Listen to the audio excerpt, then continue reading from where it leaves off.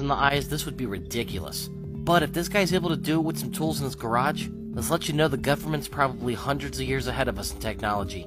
Maybe those birds really are fake. How long did you have to sit down and draw this out and calculate it and get blueprints? Or are you just so good you can freehand it? I'm just hoping he doesn't work with Hamas. Don't do it, man. Their pay shit and the benefits are even worse. Imagine using this as a prank during Halloween. Chase somebody down with a giant beetle. Also, what species of beetle is this and where do you find it?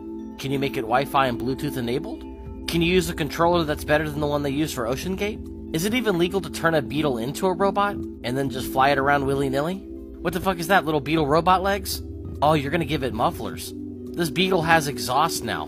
Drilling into the chitin where it gets hot like that, I'd imagine it has a weird smell. How durable is that? I feel like that would break apart very easily. What's the battery life on one of these bad boys? Why not make it gas powered? Because that would be so fucking cool. The whole back end of this thing actually looks extremely heavy, but it does work